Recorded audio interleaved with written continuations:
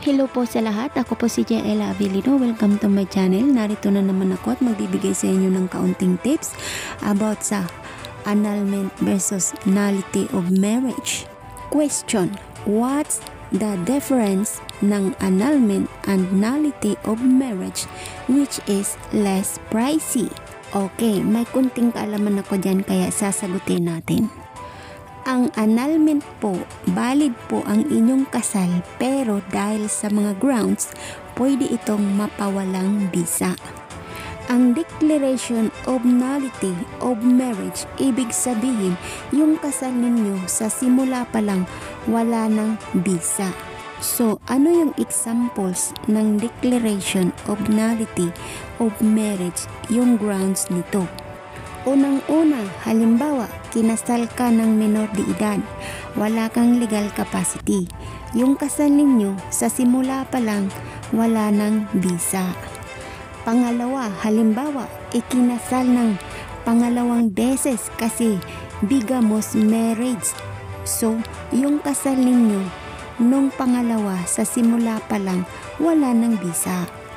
Dito rin papasok yung psychological incapacity o kaya yung mga nagpakasal na magkapatid o magpinsang buo, yung first cousin. Ngayon, punta naman tayo sa annulment. Yung annulment naman, ang example nito, ang grounds nito, walang parental consent ng magulang kapag ikaw ay ikakasal ng 18 years old but below 21 years old of age. And then, andito na rin yung nakuha yung consent sa pamamagitan ng force, intimidation, yung mga napikot. Dito na papasok yan. Kasama na rin yung impotence, yung hindi tinatayuan, at yung sexually transmitted disease, at ang time of marriage, meron pala siyang STD, both tinago sa magiging asawa. So, ito po yung ilan lang po ng mga examples ng mga grounds ng annulment tsaka declaration of nullity of marriage.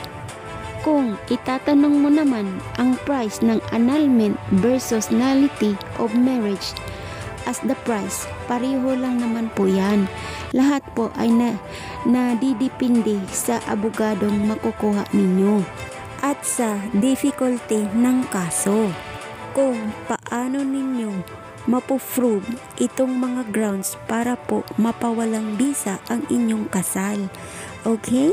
Salamat po hanggang sa muli.